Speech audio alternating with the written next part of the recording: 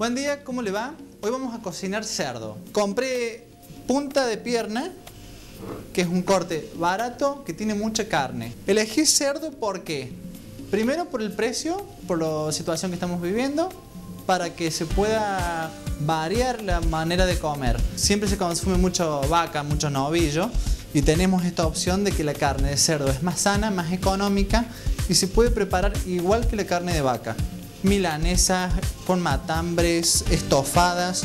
Hoy lo que yo voy a hacer con este corte para dos personas es hacerlo, ponerle un poquito de miel, que es riquísimo. Lo vamos a cocinar a punto para que no se seque, porque la carne de cerdo tiende a quedar muy seca y transformarse en gomosa. Y lo vamos a acompañar con un salteado de espinacas con manteca. Los ingredientes que vamos a necesitar va a ser, como les dije, unas dos cucharadas de miel, sal y pimienta a gusto. Bueno, vamos a poner a calentar el sartén. Yo cocino con oliva, pero si quieren con un aceite común, no hay problema. Es por una cuestión de sabores. Vamos a esperar que caliente un poquito.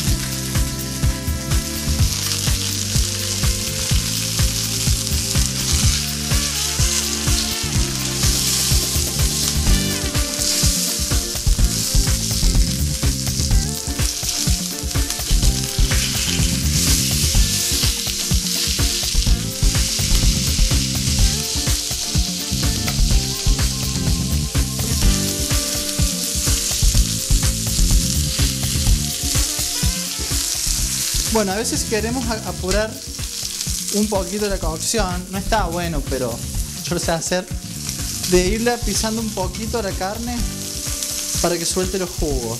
Cuando estamos medio apurados, sino que cocine tranquila.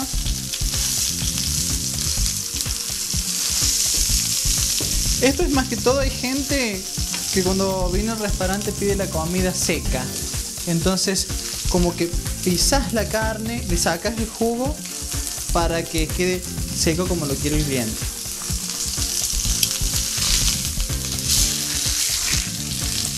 Lo bueno de esta carne, no sé si lo podemos ver, la grasa está un costado, así que la saquemos antes o después de la cocción, va a ser lo mismo, no está integrada como la carne de vaca,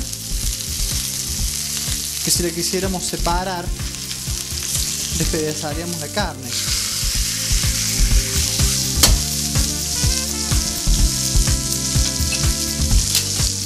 Agregar miel.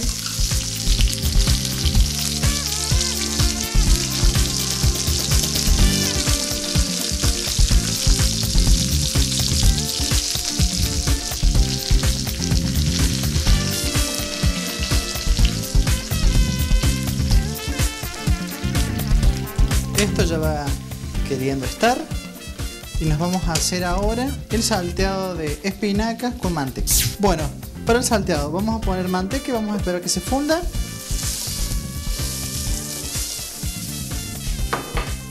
Agregamos las espinacas. Las vamos salteando. Esto va a ser un golpe porque si no se nos van a quemar las espinacas.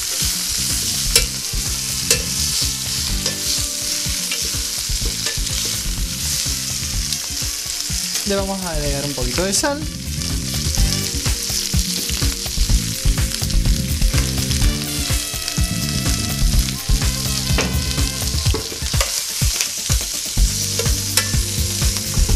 Mira el color que tiene.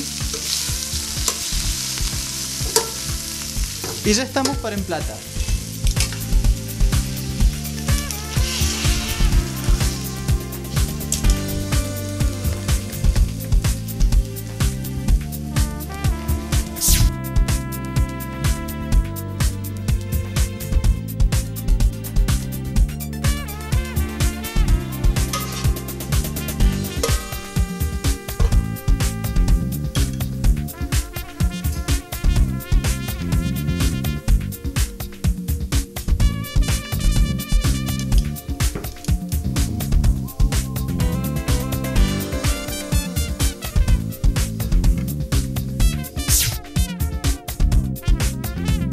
Bueno, espero que les haya gustado este cerdo con espinacas.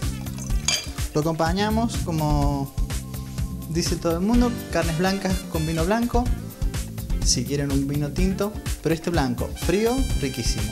Nos vemos en el próximo programa. Espero que les haya gustado. Nos vemos.